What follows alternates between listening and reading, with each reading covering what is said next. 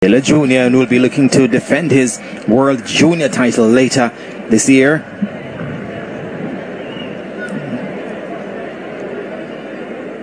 So, inside their blocks now for the men's 400 meter hurdles.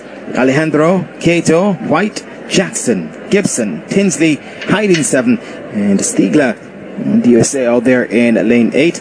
Uh, the meet record of uh, 47.79 seconds set by Kerron Clement from the USA back in uh, 2008 as they're sent about their business here.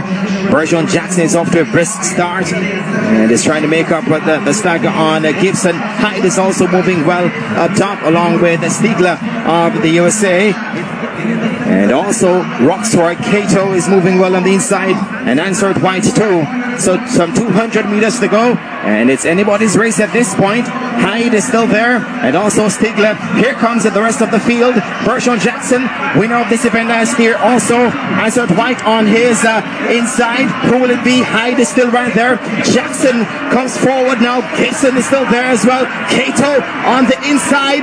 To the line they go. Gibson comes forward, and to the line he'll go, and Gibson takes it close for second. And I think Roxroy Cato might have gotten second on the inside, and Hyde might have held on for third.